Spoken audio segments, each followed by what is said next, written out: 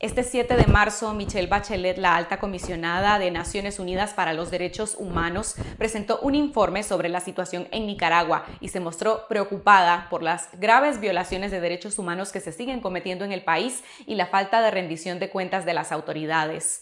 Bachelet además solicitó la creación de un mecanismo internacional de monitoreo para Nicaragua de la ONU, una demanda de una coalición de organizaciones de derechos humanos locales, regionales e internacionales. Conversamos con Juan Papier, investigador senior de la División de las Américas de Human Rights Watch. Veamos lo que nos dijo sobre este mecanismo que podría ser aprobado a finales de marzo en una votación de los miembros del Consejo de Derechos Humanos y sobre la renuencia al diálogo por parte del régimen Ortega Murillo.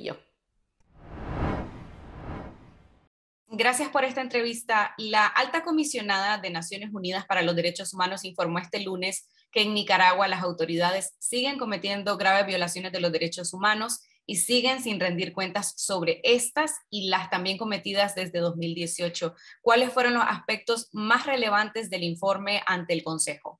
Mira, el informe de la alta comisionada de Naciones Unidas para los Derechos Humanos, Michelle Bachelet, sobre Nicaragua, es realmente lapidario. Es un informe que muestra que la impunidad en Nicaragua es total, que muestra que se ha perseguido el disenso y suprimido el disenso para impedir elecciones justas y libres en noviembre del año pasado, y que describe con mucho detalle las violaciones de derechos humanos que se han cometido contra los presos políticos, que se los ha privado de asistencia eh, en salud que necesitan, que están en condiciones deplorables, que han sufrido malos tratos, y condiciones que pueden equivaler a tortura. En definitiva, lo que muestra el informe es un panorama de un gobierno opresivo eh, que está atacando el disenso en todas sus dimensiones posibles.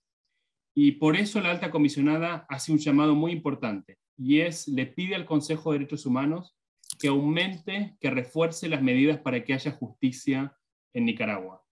Eso, en otras palabras, es pedir que exista un mecanismo independiente de investigación que no va a formar parte ya de la oficina de la alta comisionada, sino que será un grupo de expertos independiente dedicado únicamente a documentar las violaciones de derechos humanos del régimen de Daniel Ortega. ¿Cuál es el objetivo de ese mecanismo internacional de la ONU de seguimiento para Nicaragua y cómo va a funcionar? Este mecanismo que todavía no ha sido aprobado, lo tiene que aprobar el Consejo, eh, y creo que los votos, los votos van a ser difíciles, pero, pero todavía somos optimistas de que se puede aprobar.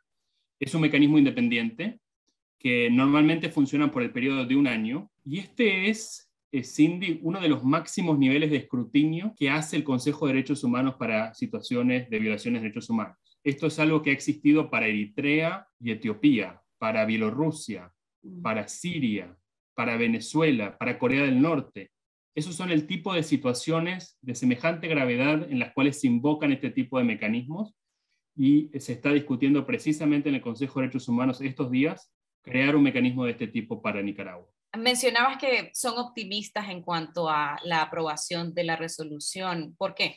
No va a ser fácil, no va a ser fácil y creo que vamos a estar justos con los votos si es que logramos aprobar esto pero somos optimistas de que, de que vamos a lograr que se apruebe este mecanismo de investigación. Aquí tenemos el apoyo de varios países latinoamericanos, tenemos apoyo, yo diría, unánime de los países europeos. El gran signo de interrogación, la gran pregunta es México. ¿Qué va a hacer México? ¿Qué va a hacer la Cancillería de Marcelo Ebrard en México? Si se va a poner del lado y va a votar como Cuba o como Venezuela, o si se va a poner del lado de los países democráticos de la Unión Europea, de América Latina que entienden que aquí hace falta escrutinio internacional sobre Nicaragua. Creo que esa es la gran pregunta y que México tiene que tomar una decisión clara, consistente con sus obligaciones constitucionales de promover los derechos humanos a nivel global y regional, es decir, una resolución, un voto claro a favor de esta resolución eh, sobre Nicaragua para crear este mecanismo internacional de expertos. ¿Cuándo se votaría esa propuesta y quién lo nombraría de pasar?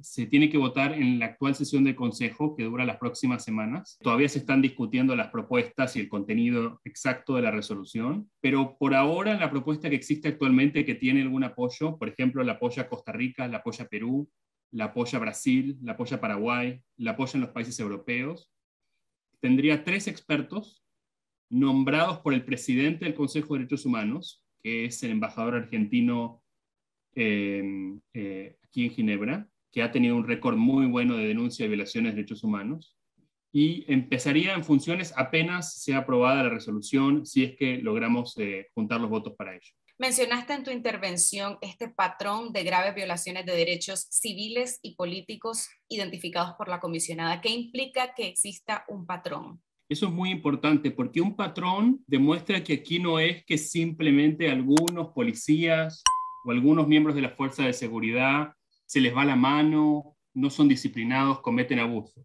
Aquí hay un patrón claro, todos los casos siguen un modus operandi, está claro contra quiénes atacan, está claro quiénes atacan, las violaciones de derechos humanos en muchos casos son muy parecidas o idénticas, y todo esto demuestra que estamos ante violaciones no aisladas de derechos humanos, sino sistemáticas, que aquí hay una persecución sistemática contra cualquiera que critique el régimen de Daniel Ortega y de Rosario Murillo. Como ya mencionabas, el informe hace hincapié en las personas detenidas en el contexto de las votaciones en noviembre del año pasado, en la muerte del reo político Hugo Torres, la grave situación de salud y falta del debido proceso en el caso del resto de presos políticos en el Chipote. ¿Cuál fue la solicitud expresa de la alta comisionada al respecto? La alta comisionada pide la liberación de todas las personas detenidas eh, de forma arbitraria pide que se respeten sus derechos, los, derechos de los detenidos conforme estándares internacionales, que cese la tortura y los malos tratos, pero también pide más atención internacional para Nicaragua. Pide que le amplíen su mandato como alta comisionada para verificar la situación en el país. Ha pedido explícitamente que el gobierno la deje ingresar al país y la deje verificar las cárceles y las condiciones carcelarias. Y pide que se aumenten los mecanismos de rendición de cuentas, es decir, crear este mecanismo internacional de investigación para que, para que Daniel Ortega no se pueda salir con la suya y aquí no haya impunidad por estas violaciones de derechos humanos. La comisionada también instó a un diálogo nacional como lo ofreció Daniel Ortega en 2021 y ella dijo que su oficina está lista para acompañar ese proceso. ¿Es viable o posible pensar en esa posibilidad de diálogo bajo las actuales circunstancias en Nicaragua? Actualmente el gobierno de Daniel Ortega no ha dado ninguna señal seria, creíble, genuina de que esté dispuesto a un diálogo. Más bien lo que vemos es todo lo contrario. Los opositores presos, los casos de tortura y malos tratos y una relación agresiva, hostil con cualquier eh, em, sector, cualquier organismo internacional que quiera realizar un escrutinio sobre la situación de derechos humanos en Nicaragua, ya sea la OEA, ya sea la Alta Comisionada de Naciones Unidas para los Derechos Humanos, la Comisión Interamericana, el Comité de Derechos Civiles y Políticos o Derechos Económicos, Sociales y Culturales. En cualquier caso, la cooperación del gobierno Daniel Ortega ha sido cero, absolutamente cero cooperación. Pero déjame decirte algo más, Cindy.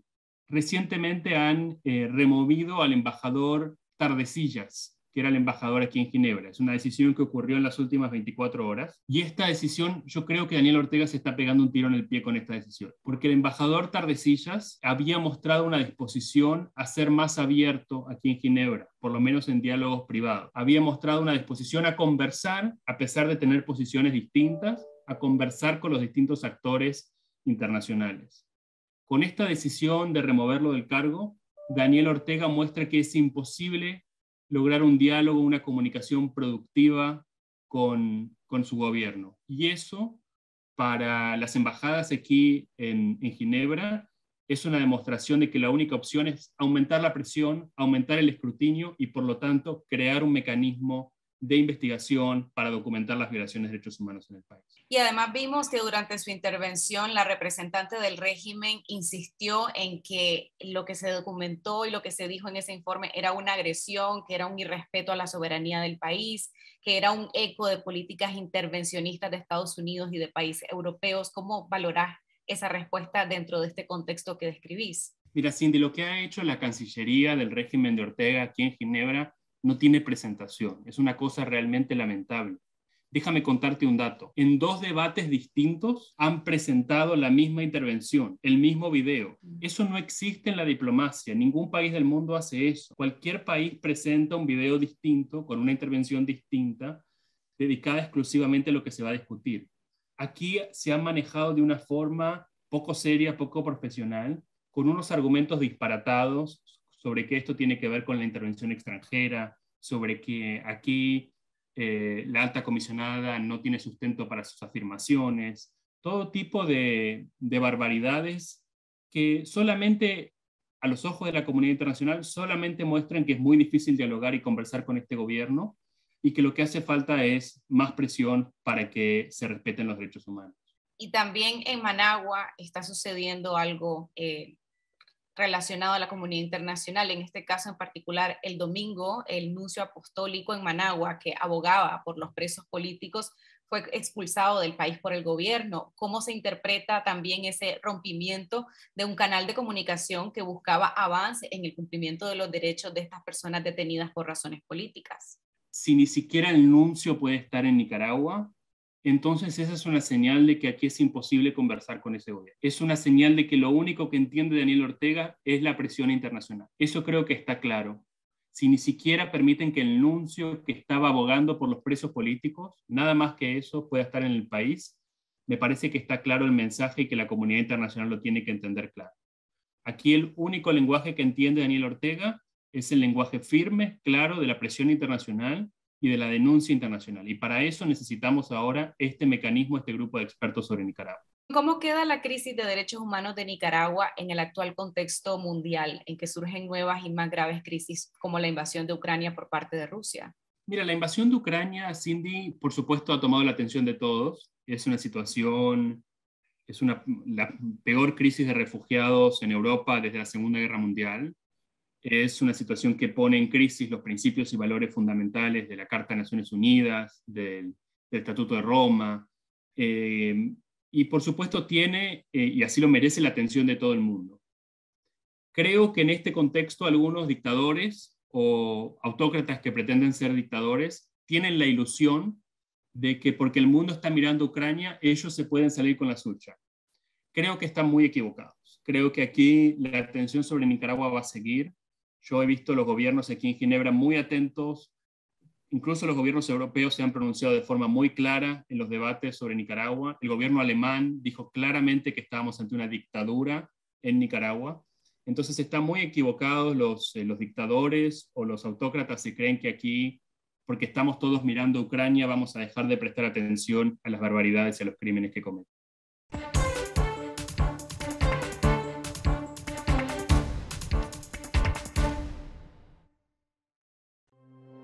Confidencial, 25 años investigando y contando la verdad, la política, la economía y la sociedad. La aspiración de un país con democracia, prosperidad y justicia. La corrupción, la pobreza y la violencia. Los temas que afectan e interesan a todos los nicaragüenses. Revelamos la verdad que otros ocultan. Fiscalizamos el poder. Promovemos el debate público Hacemos periodismo independiente. Por una ciudadanía crítica y mejor informada. Contá con nosotros, estamos cada vez más cerca de vos. Nunca podrán confiscar la verdad. Confidencial, conectados con la verdad.